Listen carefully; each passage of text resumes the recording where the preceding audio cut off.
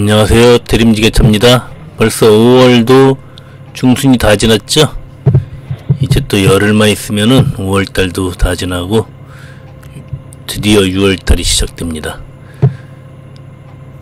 1년의 반이 지나가고 있어요. 6월달이 되면 1년의 반이 지나는 거죠? 벌써 또 본격적으로 더워졌죠? 오늘은 그 능곡역 앞에서 케이블을 하차하고 있습니다. 지금 이거는 케이블 두 드럼만 하차하면 되는데 상당히 부피가 크죠. 저 케이블을 뒤집어야 되는데 지금 이 바닥이 아스팔트잖아요. 지게차 혼자 뒤집었다가는 잘못하면 저기에 박살이 날 수가 있어요. 지금 무게가 굉장히 무겁거든요. 그래서 지금 크레인과 협업 작업을 하는 거죠. 크레인이 뒤집어 주면은 지게차로 떠서 원하는 위치에 갖다 놓으면 되죠. 보시다시피 이곳은 도로라서 차량들이 통행이 빈번한 곳입니다. 물론 사람들도 많이 다니고 있죠.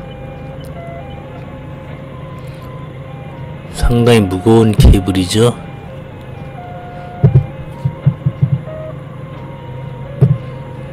저 케이블을 그 비포장 흙이 있는 그 마당에서 뒤집어 본 적이 있는데 약간 변형이 일어나더라고요. 무게가 워낙 있다 보니까 그것을 좀 안전하게 뒤집어야 될 것 같아요.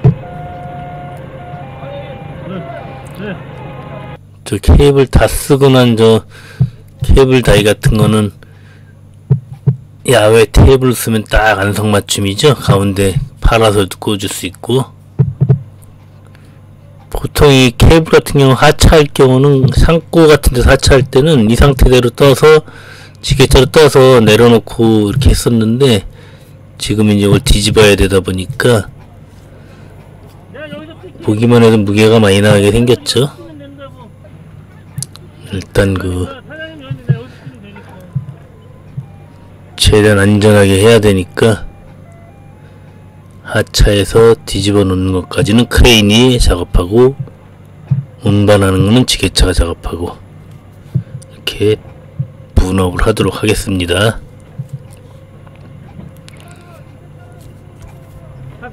자 이제 옆에 오른쪽 화면은 뭔가요? 바로 지게차 내부에서 찍은 화면이 되겠습니다.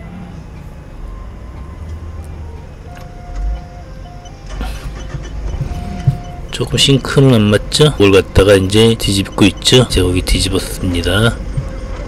지게차로 떠서 저 전방 쪽에 그 다이에 얹어놓으면 됩니다.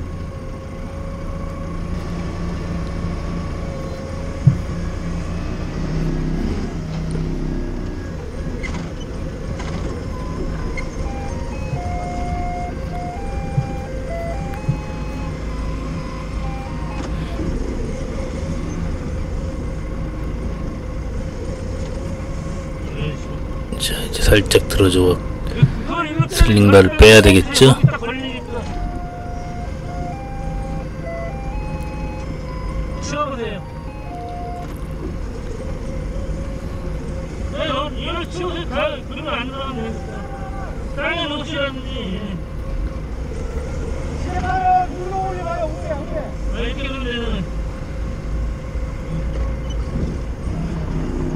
자 이제 요거를 들어주면은 되죠.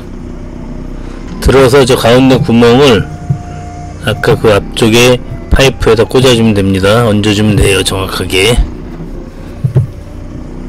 자 이제 이대로 운반하도록 하겠습니다. 이게 지게차로 뒤집어도 되긴 돼요. 뭐 크레인이나 지게차나 똑같은 방법으로 뒤집으면 되는데 크레인이 있으니까 이제 크레인을 활용하는 게 좋겠죠.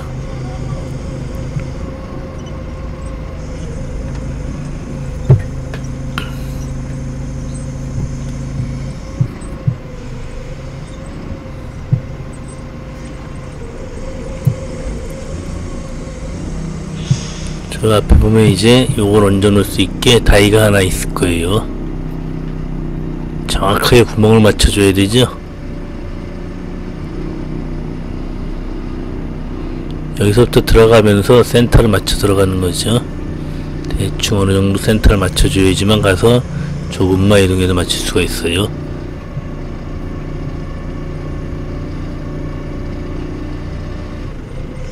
자, 이제 요 분이 올라가서 구멍을 보면서 신호를 해주죠. 요거 미세한 작업이에요.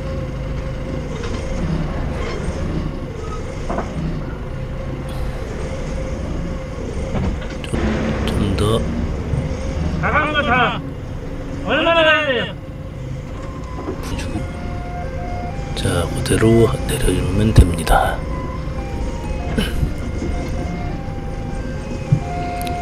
하강 하강 하강. 자 이제 됐, 됐죠? 잘 들어가죠? 이렇게 하나만 더 하면 끝나는 거예요. 이런 식으로 지금 사람의 거의 가슴 정도 되는 높이니까 꽤 큰 케이블 드럼이죠.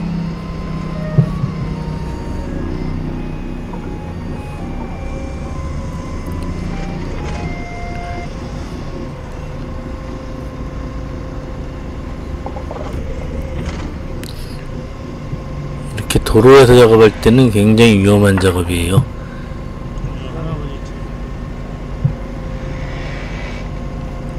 이곳을 완전히 통제하고 걸어다니는 사람 행인까지 다 막으면 좋은데 그게 안 되잖아요. 여기 다녀야 되는 사람들이 있기 때문에 그 사람들을 봐가면서 또 통제하는 사람이 많이 있긴 하지만 그래서 사고는 아차하는 순간에 나는 거기 때문에 정말 신경을 바짝 써야 되죠.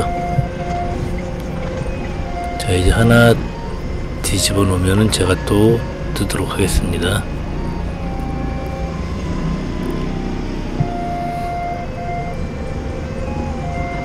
이번에 검정색 케이블이죠.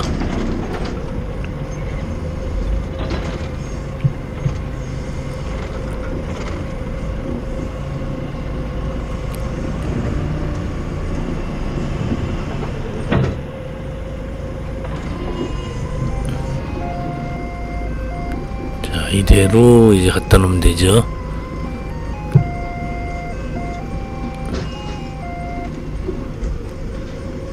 것도 보면은 운반할 때 대부분 세워서 운반을 하거든요. 근데 그 세웠을 때는 이게 굴러갈 위험이 있기 때문에 이번에 그 코일이 굴러가서 사고가 나서 사망 사고가 났지 않습니까? 그 코일 같은 경우는 전용 차량이 있다고 하는데 이제 이런 케이블 같은 경우도 굴릴 수 있는 물체이기 때문에 이렇게 눕혀서 이동하는 게 어떨까 생각합니다. 하차할 때는 물론 지게차로 하차해야 되겠죠.